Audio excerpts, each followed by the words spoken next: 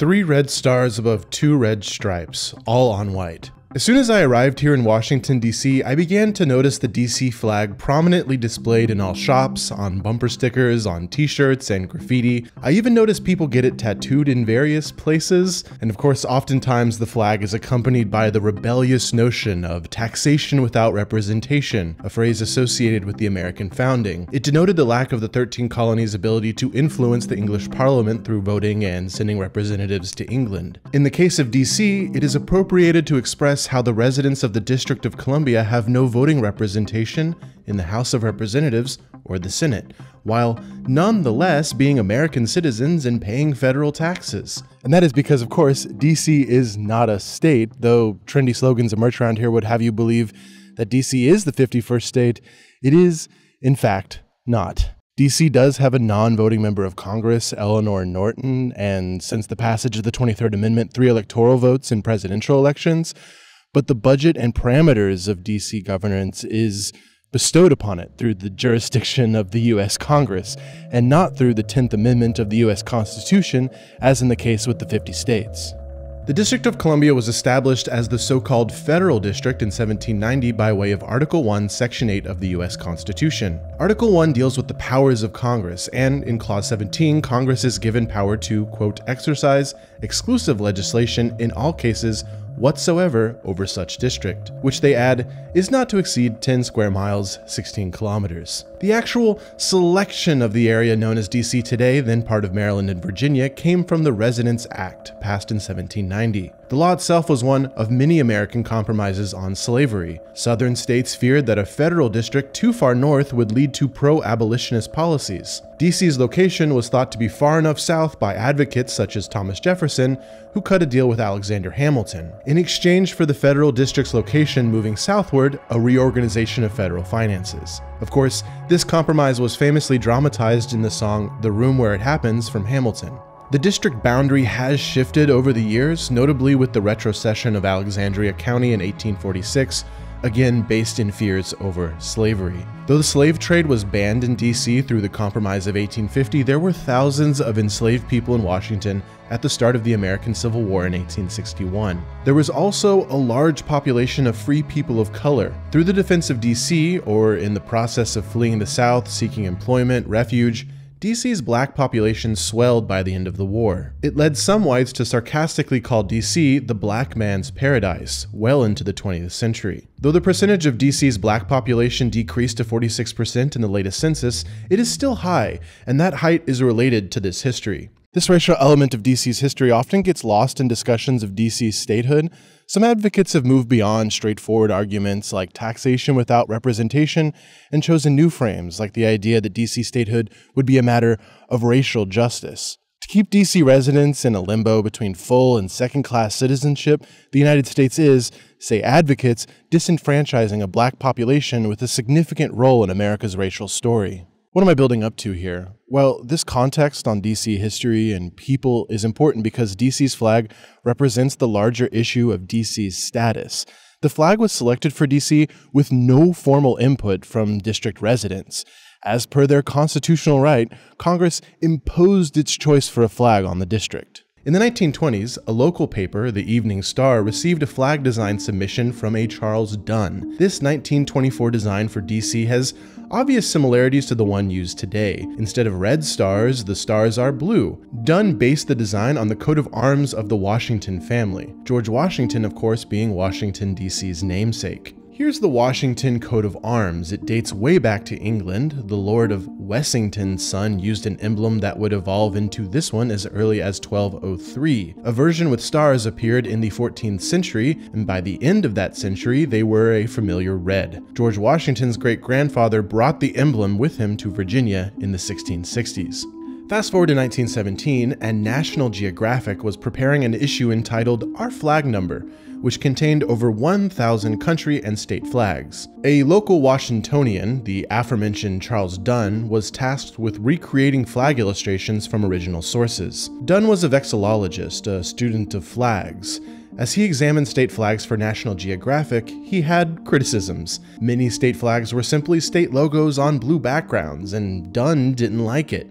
But even worse, Dunn noticed that the District of Columbia, the very DC in which he was working and where he would live his entire life, not only had a boring flag, another logo on blue, but DC didn't even have an official flag at all.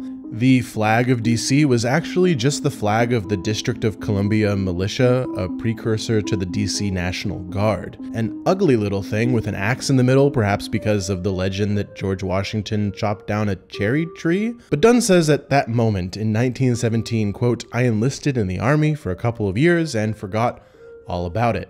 It wasn't until 1924, when the chairman of the House District Committee introduced a bill that DC have a flag of its own, that the Evening Star put out its call for submissions, and Dunn decided to actually sketch his idea. Dunn says he was inspired by the Maryland flag, which, as you can see, is quite unique, based on the emblem of the Lord of Baltimore, and so Dunn was inspired to use the emblem of the Washington family with modifications. As we saw, his original submission had blue stars rather than red. As it turns out, the U.S. House wasn't the only chamber of Congress with a committee dealing with the District of Columbia. The Senate District Committee also had an interest in a flag for DC and produced a bill which would call for a commission to select one suitable. With so much buzz, two congressional committees, a newspaper contest, you'd think a flag would be selected right away. No. The project was put to bed in 1924, not resurrected again until 1938. 14 years later, in June 1938, Congress passed a bill which created an official flag commission signed by FDR. The flag commission included Melvin C. Hazen, Commissioner of DC, Okay, check. And for reasons I can't explain, the Secretary of War and the Secretary of the Navy. After the flag committee work, the flag would be submitted to the Commission of Fine Arts. Again, Dunn's design was present among the many, this time in iteration with the red stars we now know and recognize. One alternative considered was designed by Mrs. George T. Hawkins. According to the Evening Star, her design, which can be seen here, is quite unique, with 13 nearly psychedelic stars representing the 13 original colonies narrowing towards the Capitol Dome. There are 48 stars surrounding, representing the 48 states at that time. And of course, the background is blue. By August 1938, the Flag Committee was apparently deadlocked between the two designs, but by October, the Flag and Fine Arts Commission found a way through and chose Dunn's design, which was falsely credited in the reports to an A.E. Du Bois, a heraldic expert in the Quartermaster General's office and advisor to the Flag Committee. Here's Commissioner Hazen with the chosen flag. Despite the miscredit, Dunn's role became more known years later when he published his own account of the origins of the DC flag. I think it's a good flag, said Dunn, and I'm glad an early dream of mine came true. Not all were as pleased with the choice. Local organizations agitated for inclusion in the decision process, claiming that the Washington imagery had national significance but not local significance. The Congress initiated the process and their designates concluded it. Was there no space for local voices in the decision making process? But those voices quieted over time. Washingtonians came to accept their flag, and it can now be seen all over. Despite the seeming imposition of the flag from Congress onto the people of DC, there is a certain rebellious spirit in the display of the red stars and stripes today. It's a rebellious spirit perhaps seen only in territories with nationalist ambitions like Catalonia in Spain or Scotland in the UK. DC, unlike these places, does not want independence, it wants full inclusion and incorporation. We don't want to actually rebel, we want to have a voting member of Congress. The issue of Washington, D.C. flag selection contains in it the elements of the inequality and injustice of the D.C. situation more broadly. In the case of the flag, the Constitution provided Congress the ability to select the flag for D.C., and so it did. Washingtonians, having no formally constitutionally delegated powers, were unable to affect that decision. This pattern applies in almost all other matters of governance in DC. The things that Washington chooses for itself are false choices. They're only bestowed the choice if the Congress itself decides to delegate that choice. It is ironic then that the flag has become emblematic of the larger struggle for DC statehood, a symbol which represents the disempowering of the district turned on its head and used as a symbol of empowerment, of protest, of DC's quirky but ultimately difficult and serious predicament. In many state flags, you can find a story, you can find history, until recently in the flags of South Carolina, Mississippi, you could find celebrations of treason, of deep injustice. DC's is a flag most don't recognize, but if they do, as you might after watching this, they might see a wider conflict, a wider issue, a wider perspective than mere vexillology, decoratory aspects, or the cutesy parts of designing a flag. There is a story and a people here worth knowing. This video is a collaboration with Mr. Beat. Check out his video comparing DC and Puerto Rico, two potential 51st states of the United States. Mr. Beat and I go way back. I like him, and I'm sure you already do too. So check out his video. Later, y'all.